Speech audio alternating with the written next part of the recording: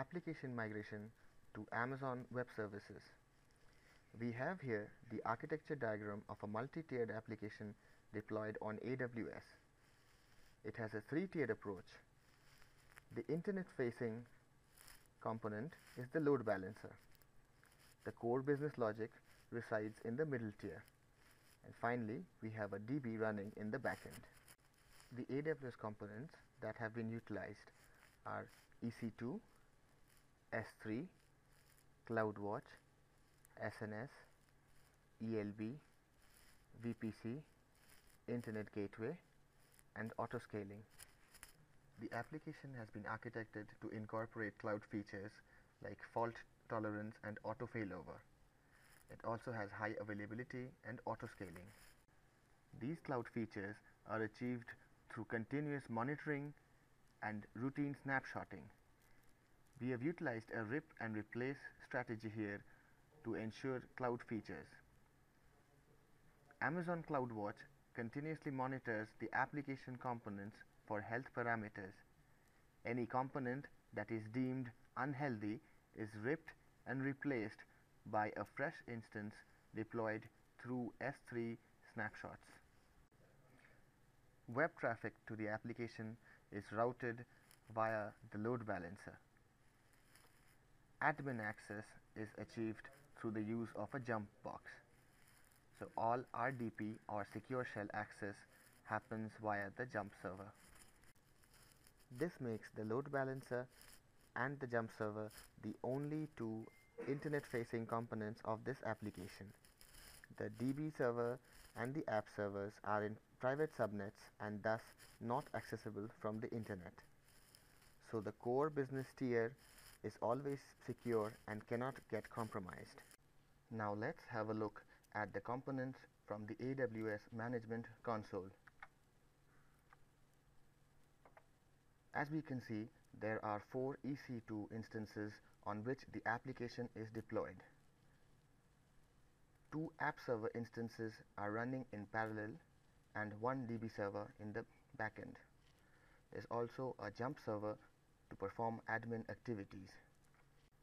Network configuration of this application is done at the VPC layer. So we have a VPC configured for this application. This VPC consists of three subnetworks, two of which are private and one is internet facing. The private subnets are deployed on two separate AZs in the US West 2 region. One is on 2B and the other is on 2A. This ensures high availability as the app server instances are deployed in private subnets on two separate AZs. This system has been architected to be intrinsically self-healing. Thus, if one entire AZ were to go down, the system is architected to scale and launch a fresh app server instance in another AZ which is still available. Even if the entire region were to go down, we have a DR setup in the North Virginia region using pilot lamp approach. All this happens seamlessly and transparently ensuring continuity of business. Let us have a look at the application front end to get a feel of the user experience. This is the login portal. Once we log in, we are redirected to the dashboard. This application is an insurance domain BI tool and thus the dashboard consists of the various LOBs for the insurance vertical. The root context of this application has been configured to show the DNS name of the EC2 instance to which the user request is being forwarded. As we can see, the DNS name for this EC2 instance is IP172.0343 US West 2 compute internal.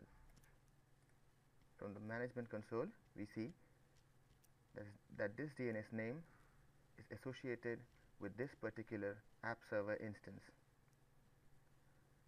This instance does not have a public DNS because it is part of a private subnetwork.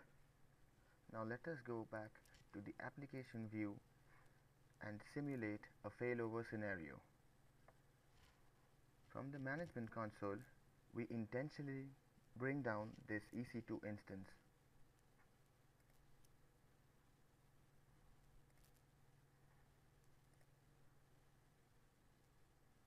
And now let us see how the auto failover scenario is executed. Now the application front end continues to work as earlier and the failover scenario is completely abstracted from the end user. Only from the AWS management console can we make out that the earlier app server instance which we had stopped has been automatically terminated and a fresh EC2 instance has been launched to replace it. We can validate to which EC2 instance the user requests are being forwarded by going back to the root context of the application and finding that the DNS name now is 1720329 US West 2 compute internal which is this particular EC2 instance. This instance was spawned just a few minutes back to replace the instance that we had stopped to simulate a failover scenario. The other app server instance that was running in parallel to this instance earlier is still operating and serving user requests. Finally, let's simulate a multi-AZ failover scenario and bring down both the EC2 instances that were serving user requests. The Perform INS application currently has zero app server instances to service user requests. Now let us check if the application is still performing as earlier. Surprise of surprises, it still is. So the system has scaled and implemented auto failover and self-healing seamlessly and reliably. Thank you for your time.